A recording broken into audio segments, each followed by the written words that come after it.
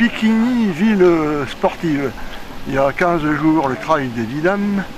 La semaine dernière, le championnat des Hauts-de-France de canot et kayak en slalom.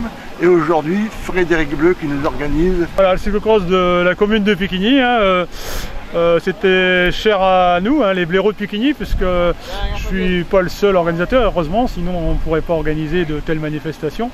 Donc aujourd'hui, on a remis ça sur pied. Et on est très content parce qu'on a, du monde, hein. on a plus de 90 participants. En plus, ce qui nous fait encore plus plaisir, c'est qu'il y a beaucoup de spectateurs.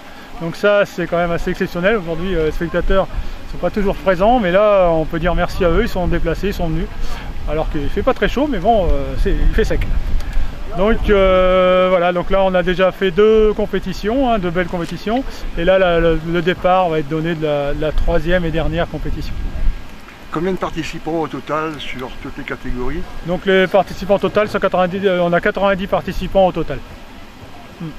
Frédéric Bleu, merci de participer avec d'autres associations locales à la vitalité sportive de Piquigny. Bah, c'est réciproque. Hein. Aujourd'hui, on tient surtout à remercier euh, bah, la commune de Piquigny, hein. euh, mais aussi euh, bah, Monsieur Delporte hein, qui nous prête sa pâture. Sans lui, on ne pourrait pas organiser ce genre de manifestation.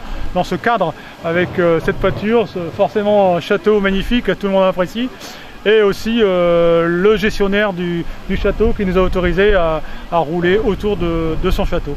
Donc euh, merci à tout, le monde, ça nous permet de faire des belles manifestations. On peut dire, Frédéric Bleu, à l'année prochaine? Ah ben, L'année prochaine, on, on, remet ça, hein, sauf... Euh, mais sinon, il n'y a pas de raison qu'à ce qu'on ne remette pas ça, et, pourquoi pas ben, encore faire mieux. Hein. C'est toujours le but, toujours, toujours mieux. Merci. Eh ben, avec plaisir. Bonne journée.